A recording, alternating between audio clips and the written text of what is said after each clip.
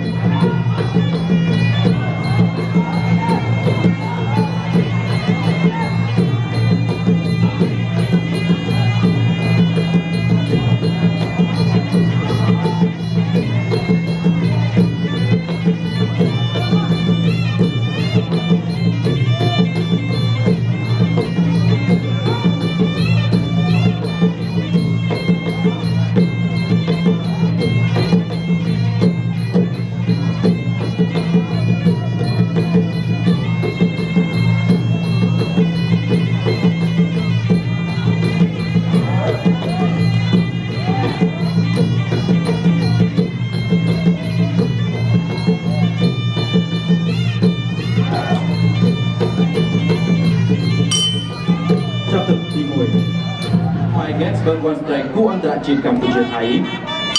ទឹកទី2 round 2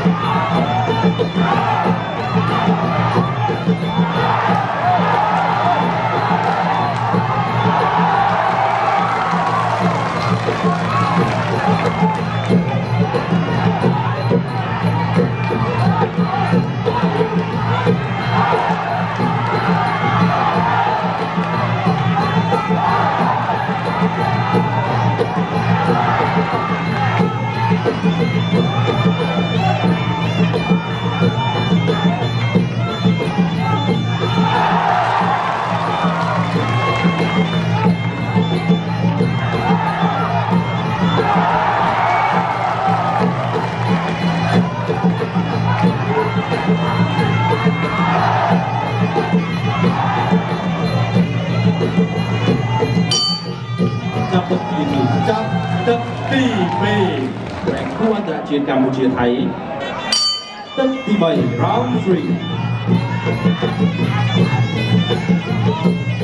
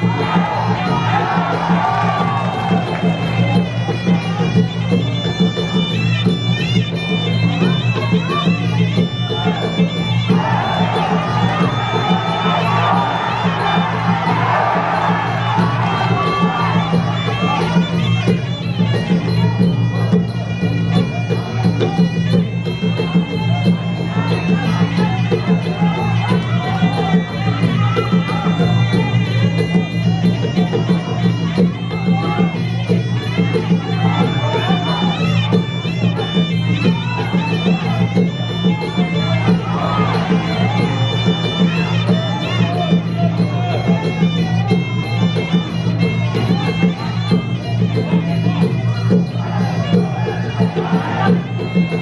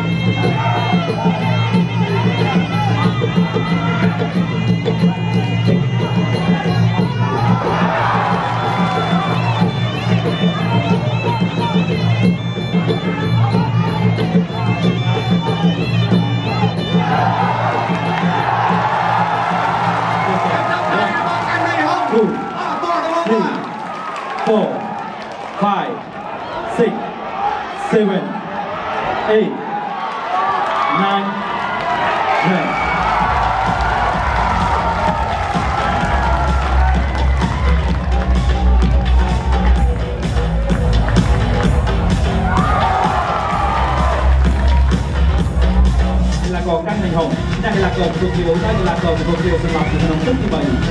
ដូច្នេះចេញជំនះបានលើកាន់មេហុងប្រាក់លៀនពីកេតរវត្តរែកអឺមេហុងមុននឹងឈានចូលដល់ការប្រកួតមានបានត្រៀមខ្លួនយ៉ាងណាដែរត្រៀមមកត្រៀមអីមុនវាយមើលវីដេអូលុយមើលវីដេអូគាត់តិចអឺមើលវីដេអូគាត់អឺវីដេអូចុងក្រោយគាត់ថ្នាក់បុណ្យសធាគាត់ថ្នាក់ដោយក្បាច់អីគាត់យកបាច់ថយមកវាយ មើលវាយហ៎យកបាច់ខ្ញុំអឺអាថយនេះបថៅណាបាទថយលីថាអើយើងដឹងក្បួនលោកទប់អាថយនេះបថៅយើងធ្វើអីថយកាន់យើងចាំថយវាយគាត់វិញអូហូមកល្អមែនតើថយវាយអត់ចូលខ្ញុំចូលវាយវិញបាទអញ្ចឹងសិតតែមានស្រៀទប់ហ៎ហើយតែក៏ទឹកទី1ទឹកទី2មើលទៅកម្លាំងរបស់គាត់រៀងខ្លាំងដែរចូលមកដល់ទឹកទី3នេះអឺមានហេតុផលណាដែលគិតថាយើងអាច kontrol គាត់បានខ្ញុំចាក់បាច់គាត់ជាប់បងចាំបាច់គាត់ជាប់ហ៎បាទអឺក្បាច់អា ចំណុចណាដែលគិតថាខ្លាំងណាស់សម្រាប់គាត់ហ្នឹងដល់គាត់ជីវិតគាត់មកគាត់មកមិនពីសឡប់របស់គាត់ទៀតពីសឡប់ហ៎បាទមកជើងគេជើងកងវិញអលីនវិញអត់លេងហ៎បីដល់ដឹងទេទេបាទចាំបើសិនទៅធ្វើមួយជើងទៀតអាចទៅវិញមែនតើមកអត់ដែរចូលដៃក៏ទៅដែរបាទអរគុណច្រើនហើយមានពាក្យពេញបីតាមអនាគតដល់ Gasper បានមកលេងរៀលនេះបាទជាចុងក្រោយក៏សូមអរគុណកម្មវិធី Gasper និងស្ថានីយ៍ PNN ដែលបានផ្ដល់ឱកាសហើយលោកខ្ញុំប្រកួតដដើមប្រាក់លៀនហើយអឺក៏អរគុណ ពុកម៉ែបងប្អូននិងពុកមីងគឺតាលោកយាយដែលគ្រប់គ្រងលោកខ្ញុំហើយបាទហើយមកមករយៈនេះចង់សួរថាមករយៈនេះអឺបាយបរទេសឈ្នះបានប្រមាណប្រកួតហើយតាំងពីមកពី SEA Games មកឈ្នះរហូតដល់ដែរចាច់អត់ឲ្យចាញ់ទេអឺចឹងអបអរសាទរកាន់មែនអើយហើយមានចង់ អឺក្រៅពីថៃមានវាយខាងបរទេសណាទៀតទេអត់ដែរអ្នកណាក៏បានដែរបងដូចដូចស្បែកខ្មៅទេបានទេបានអឺដាក់អូខេមកឲ្យទាំងអស់អឺអឺអរគុណច្រើនមែនណាអរគុណសុខសប្បាយណា